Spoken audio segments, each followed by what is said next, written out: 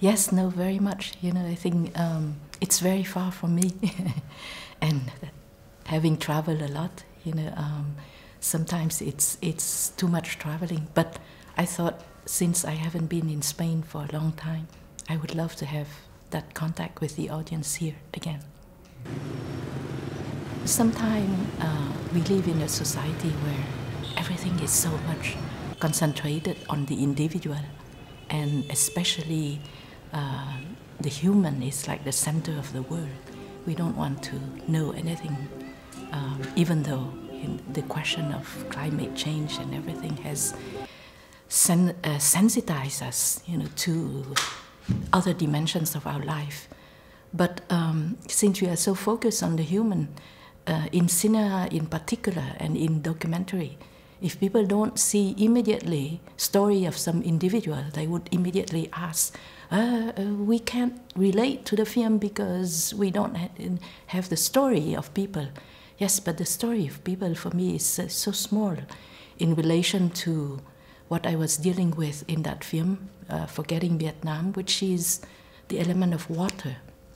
And this is because in Vietnamese, the name for the country, nước, is water.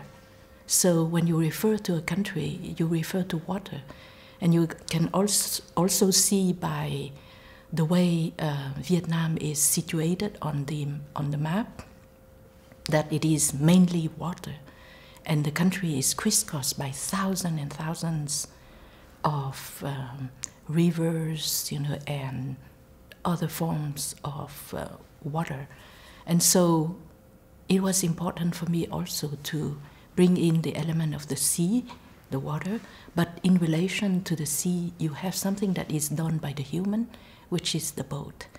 And in your case, you know, I think it's very nice that you relate it to the island because these islands, you know, are considered as um, uh, as the body of a dragon. So it is the dragon uh, in that part uh, of the film that you see. It's called Ha Long, which means the descending dragon, but also it's the rising Hanoi is the rising dragon, dragon that comes out from the water. So I usually ask people because these are places that are very touristic. I ask them, "What do you see? Do you see the rising dragon or do you see the descending dragon?" And in that sense, you know, the island and the water, the dragon always go with rain and water. So uh, it's also the symbol for power in many Asian contexts. And it is on this uh, symbol, this myth, and the legends, the old legends that I work with when I went back to these places. You know, rather than seeing ourselves as individual, uh, this is also very, very much um, characteristic of Western culture. You know, the story of the individual, the focus on the success of an individual, and so on.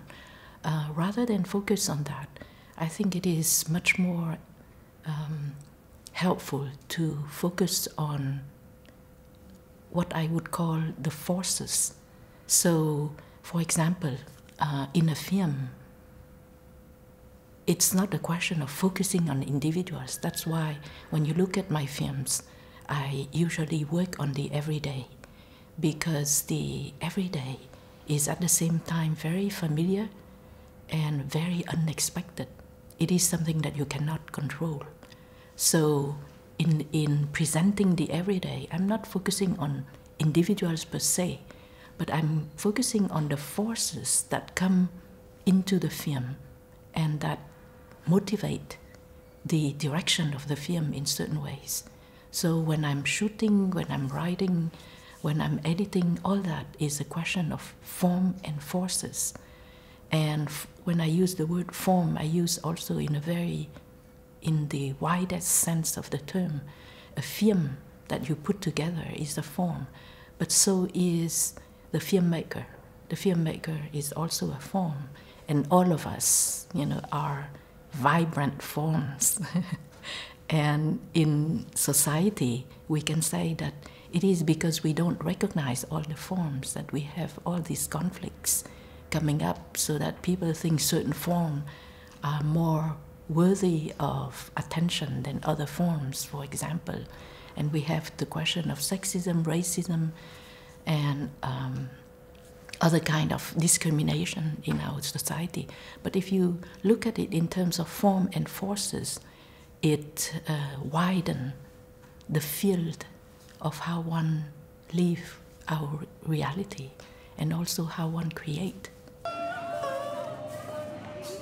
Certainly, you know, I would be speaking on, on that aspect, uh, especially in relation to the last book that I wrote, which is called Lovecidal, Walking with the Disappeared. So it's not just walking as this is one of the main activity of women's struggle. You know, they walk all around the world. I also made um, a, a, huge installation for the Musée du Quai Branly in Paris when it was inaugurated. I made this um, installation on walking so as to invite people to walk and notice um, to walk, in other words, toward the world in a, with a very different attitude than when you walk in order to, quote, discover the world, right? This is the colonial term. Uh, colonial mind always think of walking as a way of conquering the world or of discovering the world. But the world is there, you know, we are just walking in order for the world to come toward us. So this is what one of the first um, departure, you know, from the kind of walking that one could imagine. So when you want to let the world come to you, you have to walk very differently. Uh, the walk is different for the one who receives than from the one who always project and conquer. Um, this is one of the activity of everyday life. There are other struggles all around the world where the everyday is extremely important as a way of resisting. Here, for example, we can think of the Tibetan struggle, where at the same time as you have a form of resistance that is earth shattering, you know, really, because people are self immolating themselves. They are immolating themselves in resistance. And this is um, an act, you know, that really shake the world. But on the other hand, you also have people who resist in a way that is less uh, dramatic, and it is in their everyday, every Wednesday, for example, all around the world, you know, in different cities, Tibetans are buying, thinking, eating, speaking Tibetan. And this is a way of reaffirming, of keeping their identity as non Chinese. And so the more you know, a regime is oppressive, the more people have to um, come up with creative tool of resistance, creative way of resisting, and it doesn't always have to be collective. It can be something that is carried out with a collective spirit, but in a way that is very individual. So each one, in whatever places we are, would be carrying out also the struggle. You know, I don't think in terms of uh, past, present, and future, because very often people tend to think of time in a linear way. So you think of progress in a very linear way. And we tend to think also that as we advance in time, uh, what happened in the past is obsolete, less relevant. But for me, uh, digital technology is very close to the Middle Age in many ways, you know, and um, when we talk about a struggle, there is not one moment that is more relevant. Each moment is very relevant when we are fully into it.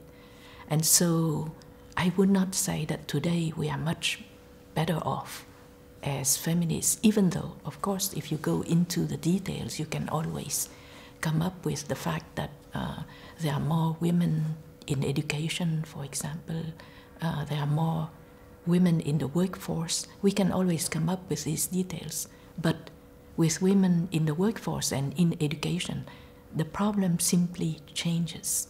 It doesn't mean that women have now, you know, uh, no longer need to struggle, mm-hmm. because all around the world, if women are marching, it's because the problem is still there. It just changed face. However, I would say that one of the aspects that is very striking, because there are also a number you know, of uh, thinkers, even progressive thinkers, who think that today feminism is over.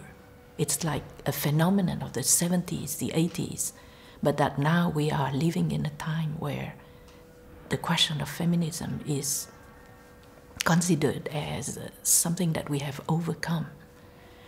And I would say that the march, uh, and especially the Pink March, you know, in Washington D.C., right after the day of the our current president's inauguration, that march that has grown so wide all over the world, some five million people, you know, walking.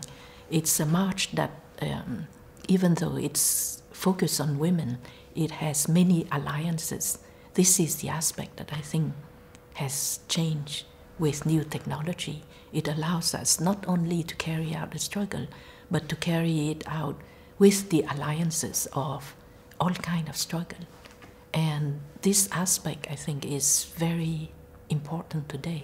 This is what becomes so different that we don't even recognize the kind of feminism that happened before, that happened in small location with uh, all kind of effort to raise consciousness, with all kind of collective work, small collective work, for example. These still exist today, but I think the, the part that really become so striking is that it has taken a global aspect